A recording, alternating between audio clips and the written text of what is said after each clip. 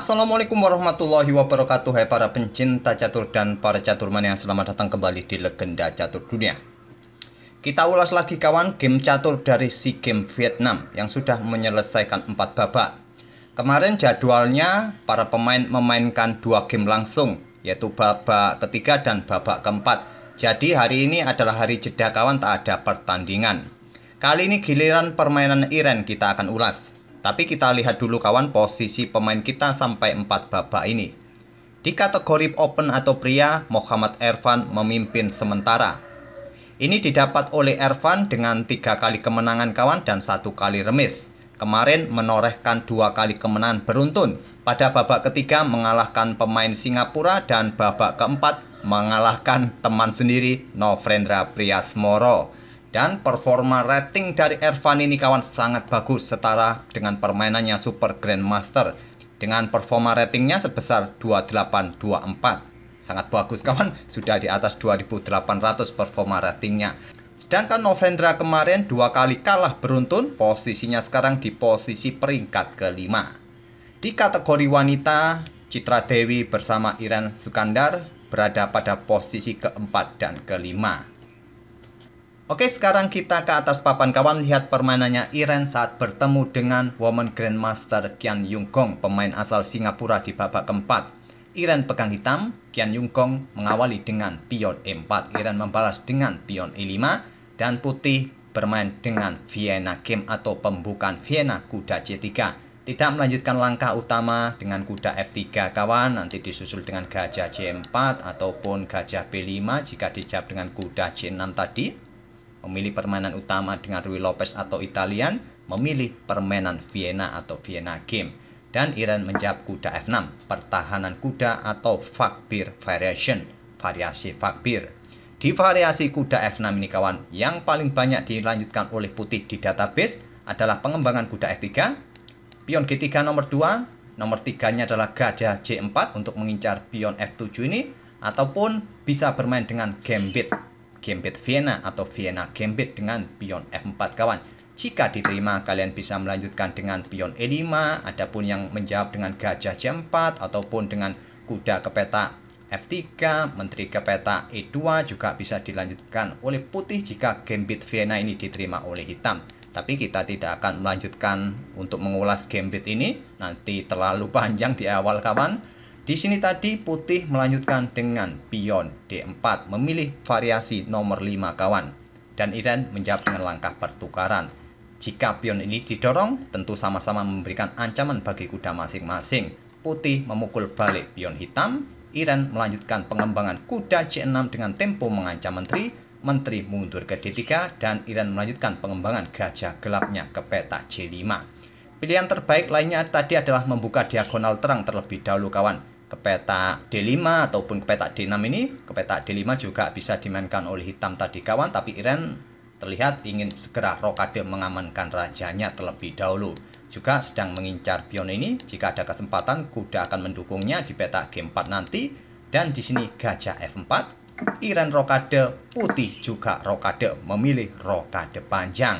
Dan Iren melihat kesempatan ini untuk bermain dengan kuda ke peta ini kawan ke peta G4 mengincar pion F2 dengan dukungan gajah untuk memberikan ancaman garbuan dengan kuda nanti terhadap dua beteng. Di sini kawan dijawab dengan langkah kuda ke H3 memberikan backup bagi pionnya ini. Kalaupun bergerak dengan gajah sama saja kawan ke peta ini nanti tetap disikat dengan gajah ataupun dengan kuda nantinya dua pilihan yang bisa dilakukan oleh hitam memang langkah terbaik adalah membackup pion ini dengan kuda tapi Iren melanjutkan juga pukul pion F2 ini terjadi pertukaran kuda. Iren untung satu pion. Selanjutnya pion E5.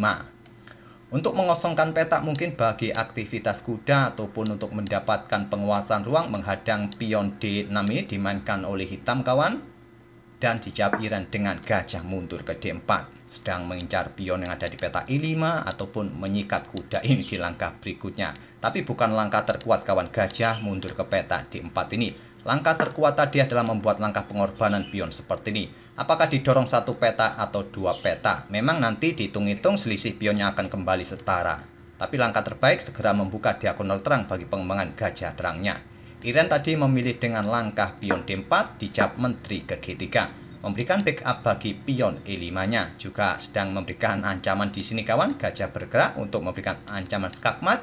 Di sini Iren pukul kuda di C3 terlebih dahulu untuk merusak bangunan pion putih kawan. Jika menteri tetap nekat berada di sini agar bisa memberikan ancaman di sini. Ambil contoh sekarang pion B pukul gajah ini. Di sini Iren akan melangkah kuda ke peta ini kawan. Jika ada ancaman di sini ya kuda bisa manuver kalian sudah rusak bangunan pion di sayap menteri. Jadi tak ada untungnya memang jika di sini mempertahankan posisi menteri berada di lajur G dengan tujuan gajah ke peta H6. Di sini gajah dipukul balik oleh menteri agar bangunan pionnya tidak rusak, tidak bertumpuk, dan sekarang menteri hitam bergerak ke H4 mengincar gajah. Di backup dengan pion G3, langkah terbaik menteri mundur ke E7. Di sini gajah bergerak ke G2, bukan peta yang bagus bagi gajah terang. Di sini tadi pion A3 patut dipertimbangkan oleh putih kawan untuk mengontrol peta B4 ini dari aktivitas kuda ataupun manuver menteri yang ingin menantang pertukaran. Tapi gajah ditempatkan di peta G2 ini fokusnya seperti ingin mengincar diagonal terang panjang ini kawan, beteng yang ada di peta A8 atau mencegah gajah hitam ini keluar untuk di Viagento juga bisa jadi dan Iran melanjutkan dengan pion A5 juga bukan pilihan terbaik. Pilihan terbaik adalah menantang pertukaran menteri di petak B4, beteng bergeser ke E8, merupakan dua pilihan utama bagi hitam tadi kawan. Iran lebih memilih bermain dengan pion A5-nya, raja bergeser ke B1, sekali lagi pion didorong oleh Iran. Sekarang gantian kawan, pion B5 merupakan pilihan terbaik sebelum memainkan pion A4 Nanti dengan tujuan didorong kembali untuk mengusir menteri, untuk menekan posisi menteri agar menghindar, dan nanti disusul lagi dengan pion A kawan. Sehingga pion-pion hitam ini mempunyai tempo untuk bergerak lebih cepat untuk didorong maju. Tapi Ren di sini tadi terlihat lebih memilih mendorong kembali pion di lajur A ke peta A4 dan beteng H bergeser ke E1. Sekali lagi pion A3 belum terlambat untuk dimainkan oleh putih untuk mengontrol peta ini kawan. Untuk mencegah tadi yaitu langkah menteri yang ingin melakukan pertukaran. Tapi beteng H bergeser ke E1 merupakan jawaban yang terlambat. Di langkah sebelumnya beteng ini tadi harusnya lebih duluan dikeluarkan daripada dengan tadi bermain dengan langkah raja bergeser ke peta B1.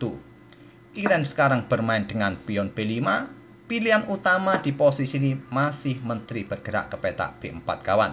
Tapi Iran sekarang lebih memilih dengan pion B5. Menteri mundur ke D2 untuk menghindari hitam mempunyai tempo menyerang dengan pionnya. Sekarang beteng naik ke A6, gajah ke D5.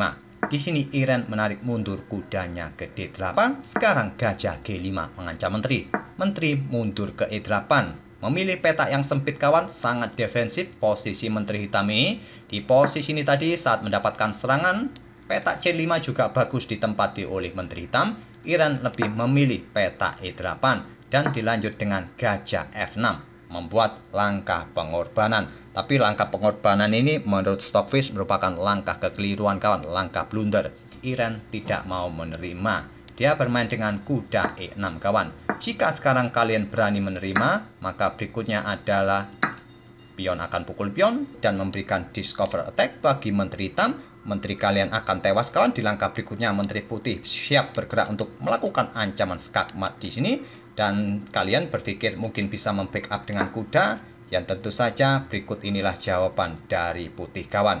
Menteri akan ke peta H6 gajah siap pukul kuda ataupun benteng dan ancaman skakmat tiga langkah berikutnya. Mungkin kalian mengira bisa mengantisipasinya dengan raja bergeser ke peta ini kawan, ke peta H8 dengan tempo nanti benteng bergeser untuk membackup peta ini. Maka ancaman berikutnya adalah gajah ini akan mendukung menterinya melakukan ancaman skakmat. Jika kalian backup dengan kuda di peta ini, tinggal menteri yang akan bergerak ke peta ini kawan, ke peta G7 skakmat. Jadi jika tidak ingin terjadi skakmat pada posisi ini, ya kalian harus merelakan menteri kawan. Beteng ambil pion agar putih tidak mendapatkan dukungan ancaman skakmat, tapi menteri kalian akan tewas. Oke, kita kembali ke langkah aslinya. Pada posisi tadi, Iren tidak berani ambil pengorbanan gajah. Dia melangkah kuda ke peta E6 tadi dan dijawab putih dengan beteng naik ke E4. Dan barulah sekarang Iren berani ambil. Sekarang berbeda kawan. Jika sekarang dipukul balik oleh pion dan dengan tujuan berikutnya adalah menteri melakukan ancaman skak di sini atau bergerak ke peta ini, Di sini raja mempunyai tempo untuk menghindar terlebih dahulu mengosongkan peta atau lajur G bagi betengnya nanti digeser untuk membackup peta G7. Itulah bedanya sekarang. Oleh karena itu Iren berani ambil pengorbanan gajah putih. Menteri ke H6, Raja Hitam H8, Beteng bergeser untuk mendukung menterinya memberikan ancaman skakmat diantisipasi Iren kuda ke G5. Dan di sini putih melakukan baku hantam pion, memberikan dukungan bagi menteri melakukan ancaman skakmat, juga menghilangkan dukungan bagi kuda yang ada di peta G5 ini. Tapi Iren masih mempunyai beteng G8. Menjaga peta G7 juga menjaga kudanya. Di sini kawan, putih terus memberikan tekanan dengan gajah ke peta E4. Memberikan dukungan bagi dua perwira yang lain. Dan pada posisi ini kita menemukan momen yang sangat penting bagi Iren kawan. Silakan pause video ini untuk beberapa detik dan coba temukan langkah terbaik bagi hitam bagi Iren untuk mempertahankan posisinya agar tidak mendapatkan serangan bertubi-tubi di langkah berikutnya. Berbalik nanti Irenlah mempunyai kesempatan untuk bisa menyerang balik. Untuk sementara ini Iren unggul satu perwira. Oke, apakah kalian menemukan langkah brilian yang didapat oleh Iren pada posisi ini kawan? Iren melakukan pengorbanan menteri pukul gajah E4 inilah yang dilakukan oleh Iren kawan. Dan dipukul balik oleh Beteng, dipukul balik oleh kuda. Iren mengorbankan menterinya untuk bertukar dengan dua perwira putih, satu perwira mayor dan satu perwira minor. Sekarang putih sudah tidak mempunyai dukungan untuk mengancam di lajur H kawan lajur G masih cukup aman dengan kawalan betengnya ini. Oke, langkah berikutnya dari putih adalah menteri ke F4. Di sini beteng bergeser ke D6 oleh Iren. Memberikan ancaman bagi putih ancaman skakmat jika menteri berani ambil kuda kawan. Tapi langkah ini kurang bagus.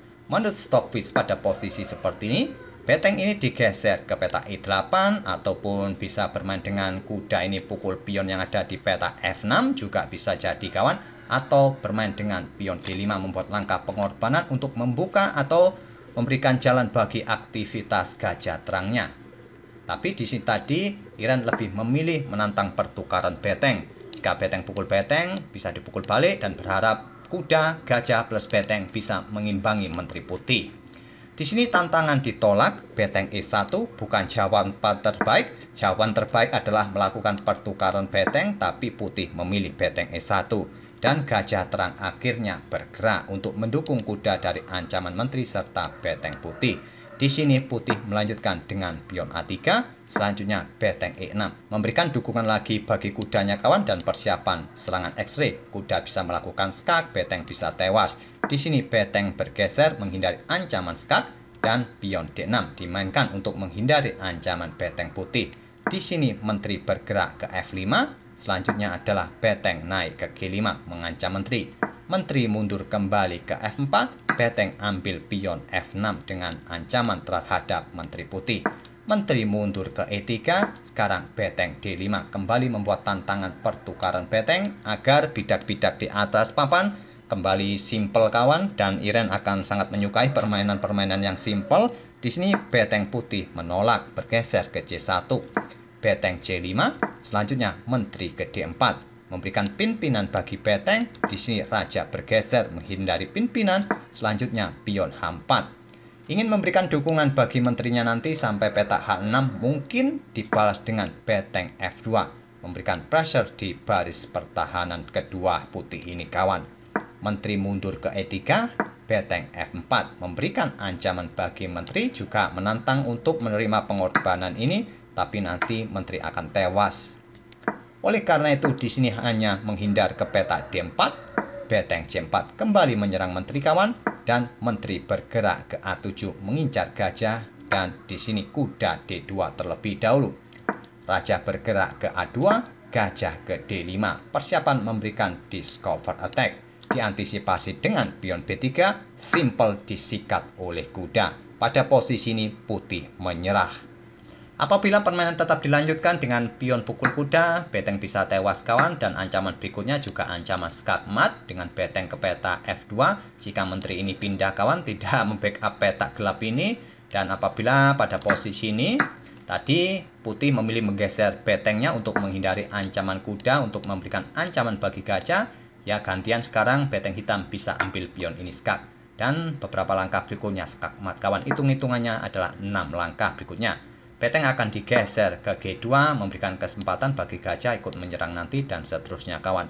Oke itulah kawan game antara Iren Karisma Sukandar bertemu dengan Woman Grandmaster Singapura Kian Yung Gong. Di posisi ini di langkah ke-41 putih sudah menyerah kawan.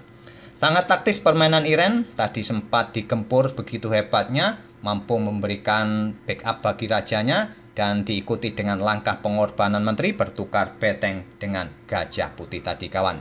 Semoga permainan dari Iren tadi bisa menghibur kalian kawan dan kita akan bertemu di video-video berikutnya. Terima kasih. Wassalamualaikum warahmatullahi wabarakatuh.